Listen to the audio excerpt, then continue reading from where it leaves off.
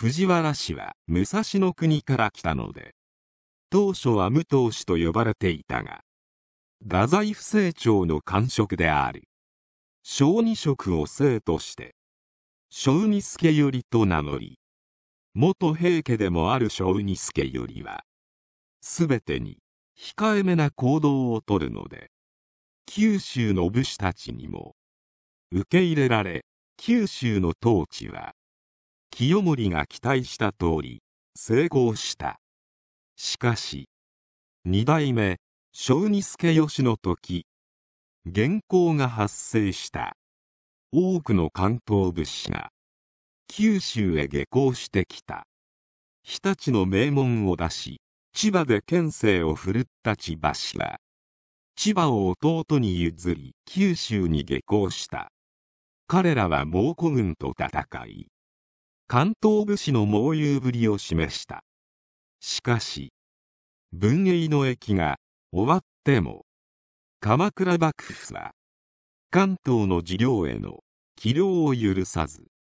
日立の国の名門士族のを出し、千葉を治めていた千葉市など、猛虎軍の再来襲に向けて九州に土着することになる案の定猛虎軍が再来襲するが公安の駅でも日本の武士団の活躍と運よく台風襲来で撃退する室町時代になると応仁の乱により都の混乱が九州にも及び統治不足の小児氏は、周防の大内氏の構成で、太宰府を追われ、非全国だけの領主になっていた。警護職で藤原氏と共に下校した。馬場氏はすでに、小児氏の血族の一族になっていて、非全国三根郡中野城によった。馬場氏の宗家であり主家である。小児氏は、鎌倉以来の鎮西の大族であったが、戦国時代になると、肥前に名脈を保つばかりの存在になっていた。馬場氏は、その落ち目の小児氏を懸命に支えた。小児氏からは、多くの書家が分かれ出たが、馬場氏、筑紫氏、横岳氏らは、小児氏をしのぐ力を持つようになった。戦国時代になると、小児氏が周防の大内義隆氏の構成を受けるようになり、筑紫光門は大内氏に通じるようになった。馬場頼金にとって筑紫光門は叔父であるが、その変説に馬場頼金は怒った。ついには孫が病気であると偽り、筑紫光門を綾部城に誘って謀殺したのである。永正14年、1517年、小児助元は、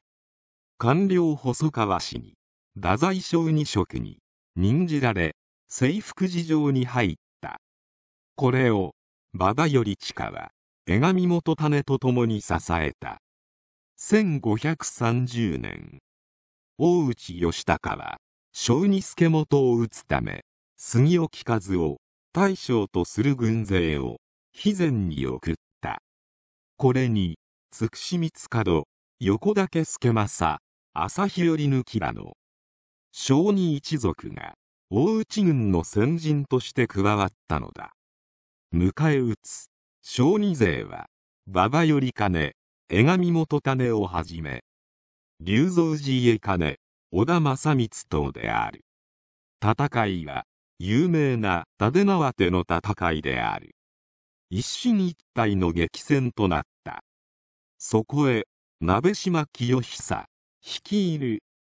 鬼の面をかぶった池井の軍団が現れ、これを芸能集団と見た大内勢が、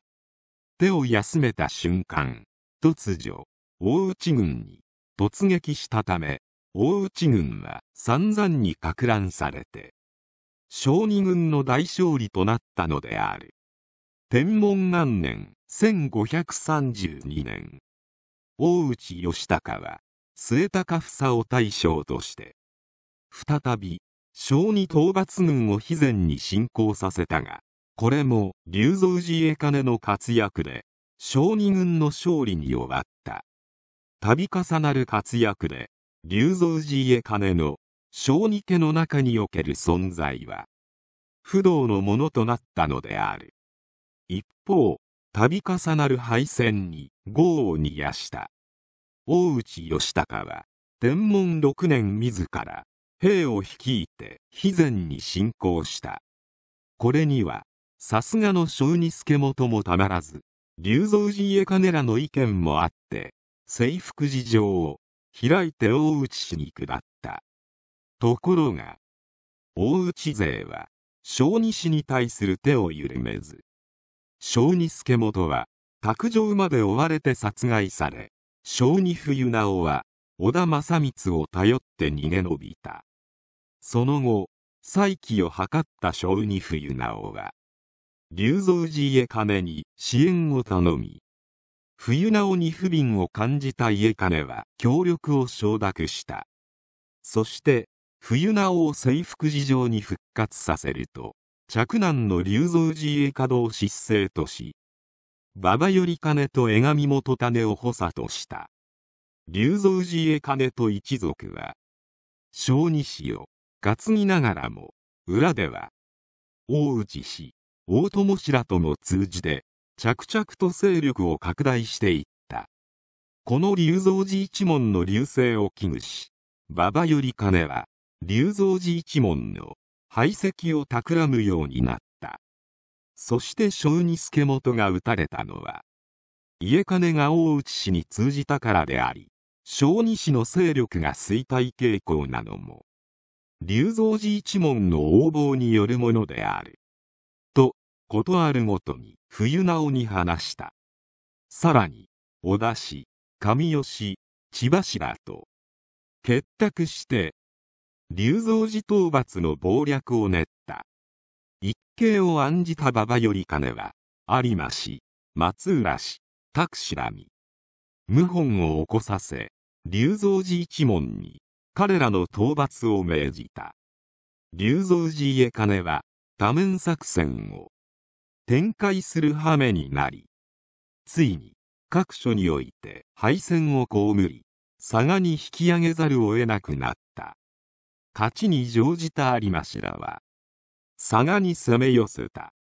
ことは馬場より金の筋書き通りに運びあとは仕上げをするばかりとなった。頼金は今や袋のネズミとなった。水替え城の龍造寺へ金を訪ね小児冬直殿は龍造寺へ金殿が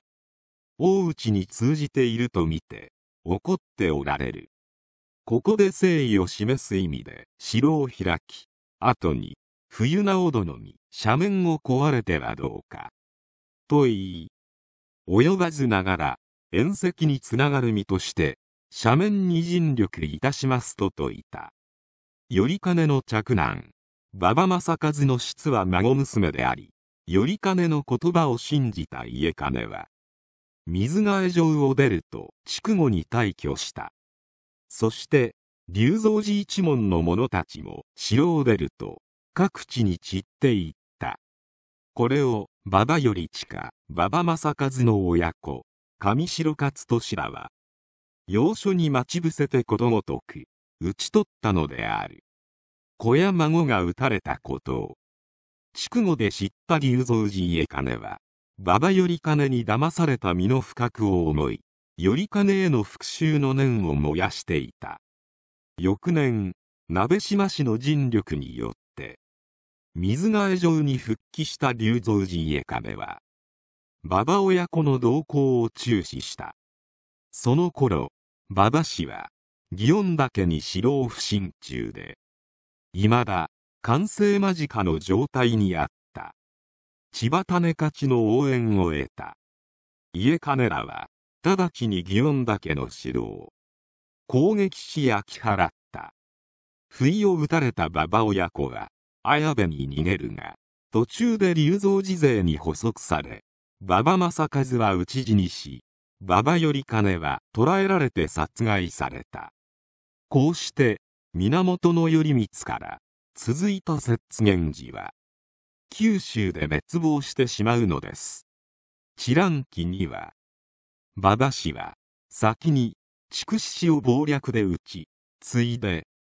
龍造寺一門を同じく謀略で追い詰めた。とはいえ、筑紫氏ら小児一族が大内氏に通じて、小児氏と対立していく中で、やり方はともかくとして、馬場氏は大政の小児氏をよく支えたと言えるのではないか。博学にして最地あり、中心深くまた河川を憐れみし者なり。龍造寺の一家を討ち取りしことは、小児に対して言われあることなり、と、馬場より金を表している。戦国時代は、馬場より道馬場より和。馬場より金馬場正和。馬場金地下と続くが、馬場より金の代で、鎌倉時代から続いた。摂津源氏の流れの馬場氏は、力をつけてきた龍造寺高信に、滅ぼされてしまいます。ライバルの馬場氏を滅亡させ、その後は、龍造寺高信は下克上で、主君の小児冬名を滅ぼし、非全国を治めるようになって、非前の熊と恐れられた。小児家と馬場家の、両家の一族は皆、非前と筑前に散ってしまいます。馬場金地下は、後に許され、龍造寺に仕えるが、やはり、後には大友氏に寝返り、龍造寺家に最後まで抵抗する。しかし、大友氏が、薩摩の島津氏に、攻められ、衰退してしまう。この馬場金地下が、摂津源氏の最後のあがきとなる。摂津源氏の傍流の、信濃源氏の流れの時氏も、摂津源氏の時源氏であり、時源氏の一族であった明智光秀も、本能寺の変で織田信長を撃った理由は、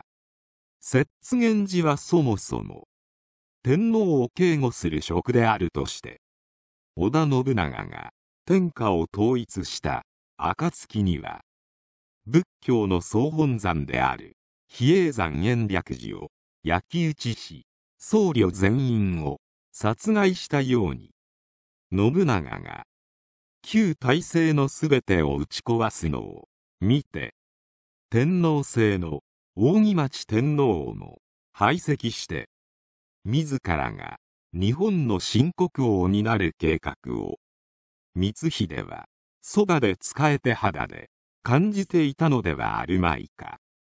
本能寺の変は明智光秀が摂津源氏の本来の職務である。天皇をお守りしようとした結果である。信長が延暦寺焼き討ちの際仏像を手にして言った言葉。光秀よ。これが仏か？ただの木ではないか。この言葉で光秀は決断した。と思います。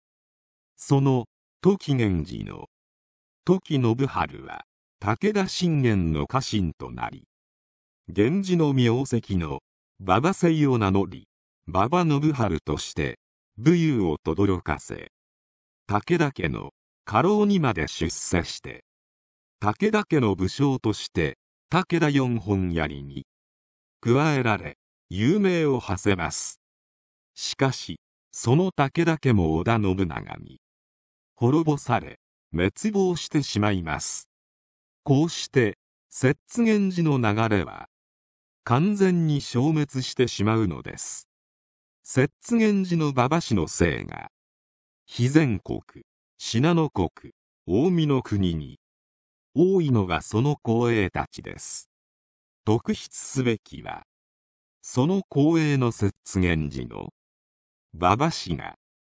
近江の国の中山道で薬売りから、身を起こし、近江商人のもとと、なったことではないでしょうか。